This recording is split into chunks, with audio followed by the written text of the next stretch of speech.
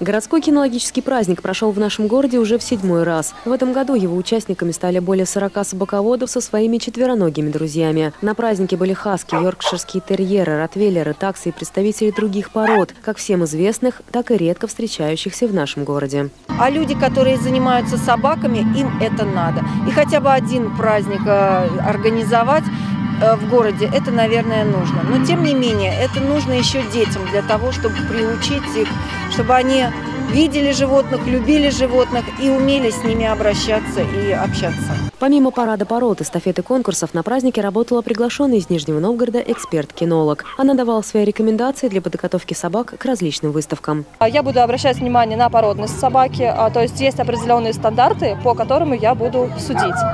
А также я буду обращать внимание на темперамент и на подготовку, то есть как а, владелец будет показывать свою собаку.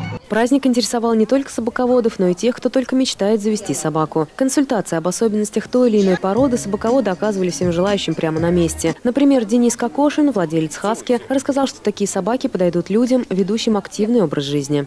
Ну, как бы людям посоветовал, конечно, заводить. Это очень добрая порода, очень ласковая, но с ней ей надо уделять много внимания в плане того, что ей пробежаться надо, прогуляться. Не как вот бывает там 5 минут выйдут, собака свое сделает домой. Нет, с ним где-то с утра я гуляю около 40 минут, после работы прихожу где-то тоже минут 40. И уже вечером основная прогулка порядка полутора-двух часов занимает у нас. По словам Дениса, Хаски станет идеальным спутником любителям велосипедных или лыжных походов. Также собаки этой породы отлично ладят с детьми и редко вступают в конфликт с другими животными.